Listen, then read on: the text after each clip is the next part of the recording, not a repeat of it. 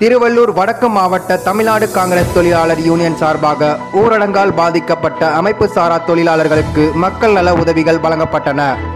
Congress committee தலைவர் திருமிகு K S Alagiri MP Tamil Nadu Congress committee செயல் தலைவர் திருமிகு டாக்டர் கே ஜெயக்குமார் எம்பி ஆகியோரின் வேண்டுகோளின்படி திருவள்ளூர் மத்திய மாவட்ட காங்கிரஸ் கமிட்டி தலைவர் Ambattur S Mahendran BSc BL EXMC DCTU மாநில தலைவர் பி டி சிவராமன் அவர்களின் ஆதரவுடன் கரோனா பாதிப்பினால் ஏற்பட்டுள்ள நூற்றி நாற்பத்தி நாலு ஊரடங்கு உத்தரவால் பாதிக்கப்பட்ட தமிழ்நாடு காங்கிரஸ் தொழிலாளர் யூனியன் திருவள்ளூர் வடக்கு மாவட்ட கமிட்டி சார்பாக அமைப்பு சாரா தொழிலாளர்கள் இருநூத்தி ஐம்பது நபர்களுக்கு தலா அரிசி முகக்கவசம் கபதுர குடிநீர் ஆகியவைகளை திருவள்ளூர் வடக்கு மாவட்ட தமிழ்நாடு காங்கிரஸ் தொழிலாளர் யூனியன் தலைவர் திரு T S Desiyamani MA PCC அவர்கள் வழங்கினார்.